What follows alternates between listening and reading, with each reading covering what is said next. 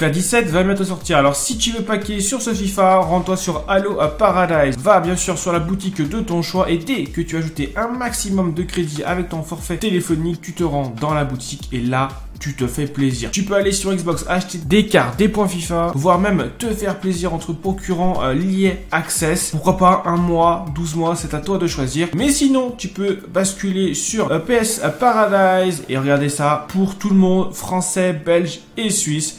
Fais-toi plaisir, il y a bien sûr d'autres choses que FIFA. Et sinon, sur le petit PC, Paradise, tu te rends dans la boutique et là tu commandes des euh, Poké euh, pièces pour Pokémon Go. Eh bien, salut à tous, c'est Cyril. On se retrouve aujourd'hui, les amis, pour une nouvelle euh, vidéo sur FUT17. Nous sommes sur l'appli web et je vais vous présenter ma première équipe que je me suis fait pour ce FIFA 17. À l'heure actuelle, quand je vous parle, on est jeudi matin. Je suis en train de télécharger donc le jeu FIFA 17 avec l'Access et il y a une phrase, une citation qui va très bien, doucement mais sûrement. Donc ça veut dire, pour ceux qui comprennent pas que ça fait 55 ans que je télécharge cette putain de, FIFA de 40 gigas là, enfin ils ont vraiment abusé sur le, vraiment le, poids en tout cas du jeu. J'espère que vous allez bien en tout cas. On va partir comme je vous dis pour un petit euh, squad builder et je vais vous présenter ma première équipe. Alors je n'ai pour le moment comme je dis pas touché au jeu, hein, donc en main, juste été sur la plus web. J'ai fait un petit peu d'achat-vente et c'est ce qui m'a permis en tout cas d'avoir euh, environ 15 000 crédits pour me faire cette équipe. Donc si vous voulez un maximum de vidéos d'achat-vente, n'hésitez pas à bombarder parce que je peux vous dire que j'ai déjà bien commencé et je me suis fait du allez 8-9 000 crédits très très très rapidement. Donc mon équipe la voici, je suis parti sur un dispositif que j'apprécie énormément sur un FIFA 4-3-3-4. J'ai regardé pas mal des statistiques in-game des joueurs et surtout un peu leur coût, ça c'est vraiment la première chose qu'on regarde sur un FIFA. L'équipe, je peux vous la conseiller, franchement, pour même pas 15 000 crédits, elle peut être très intéressante. Pourquoi? Parce qu'elle regroupe tous les caractéristiques qu'on a besoin sur un FIFA. Un peu de vitesse, un peu de technique, des super passeurs, euh, des bons défenseurs, du gabarit, enfin, il y a vraiment de tout. Donc, moi, je vous dis qu'elle va vous plaire. On va commencer directement par le gardien. Alors là, c'est l'un des meilleurs joueurs de cette équipe. Je me suis dit, ouais, il faut un bon gardien sur FIFA, sinon on va rager, on va se prendre des buts de merde. Donc, j'ai tapé directement un très bon gardien. Donc, c'est quasiment une team, euh, enfin, c'est une team full Ligue 1, faut être franc, je veux le préciser. Et euh, j'ai opté, les amis, euh, pour Costil. Bon, on peut laisser à rien, hein, c'est juste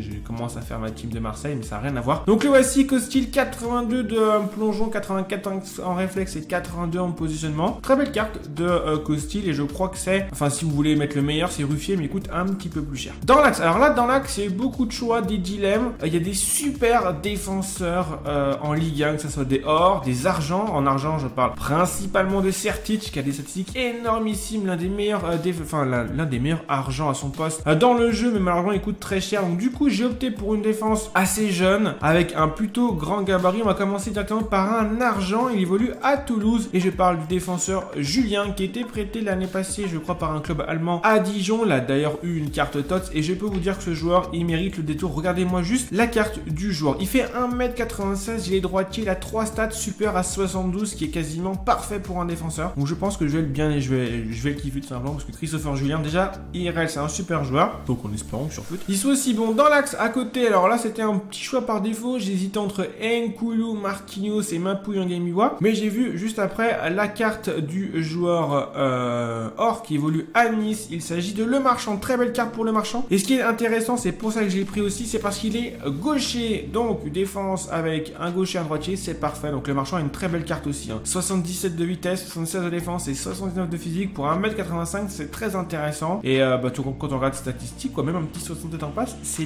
d'être dégueulasse. Donc c'est un joueur, je pense que je vais apprécier. Latéral gauche, il n'y a pas grand chose. Il n'y a pas grand chose. Bon, après le classique Kurzawa, mais je n'aurais besoin dans une autre équipe. Du coup, je l'ai pas mis. Et bah, j'ai opté hein, tout simplement pour le Brésilien Maxwell. Voilà, une carte rare cette année pour Maxwell, très complète. Hein. Regardez, il y a quasiment du 70 de partout. Euh, il rentre, hein, dire, dans le gang de Gullit, etc. Ceux qui connaissent, euh, qui se rappellent de FIFA 16, avec aussi Layoun. Donc vraiment une très belle carte pour Maxwell. Manque un petit peu de défense, enfin de, vitesse, pardon, mais euh, je pense que sa statistique en placement défensif va faire la différence.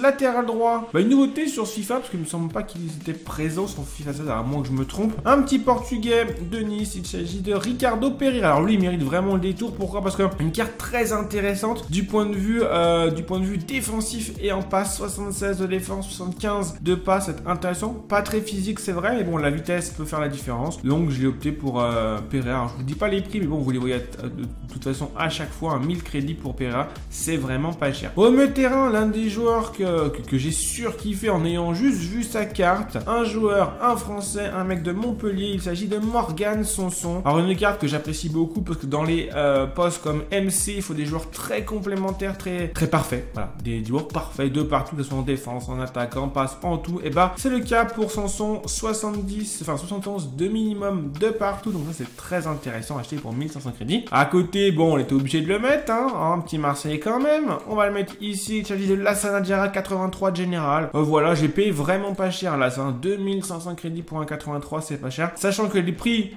commencent pas à diminuer mais stagnent, mais dès que le jeu va vraiment sortir, là les prix vont augmenter parce qu'il y aura beaucoup, beaucoup, beaucoup de joueurs qui vont acheter euh, des équipes, etc. Donc commencez à investir maintenant, c'est un conseil que je vous donne. 2500 crédits pour Lassana Diarra. Numéro 10, alors bon, j'en voulu, j'ai hésité à mettre Rémi Cavella, qui a une belle carte cette année, 80 de général, aura, etc. Mais non, pourquoi? Parce que j'en aurais besoin dans une autre équipe, et vu que cette équipe, en gros, c'est mon équipe titulaire, et l'autre équipe, c'est pour faire tourner la forme. Donc, on évite de mettre des joueurs identiques dans les deux équipes, et j'ai opté pour un numéro 10 qui a une belle petite euh, carte et des statistiques in-game intéressants. Johan Gourcus, 78 de général. Alors déjà, ce qui m'a intéressé chez lui, son 80 en passe. Ça, ça va être très important, parce que c'est un style de jeu qui me correspond, j'aime beaucoup jouer en passe. Et quand tu commences ensuite, un petit Gourcuff à 800 crédits, je peux vous dire que ça va être assez intéressant. Toujours les 4 étoiles de G technique. Pour lui, ailier gauche, directement l'un des meilleurs ailier gauche de cette Ligue 1. Je parle bien sûr de Ressé, le voici. 80 de général, une carte très intéressante. Les 4 étoiles en geste technique. Je pense que ce joueur peut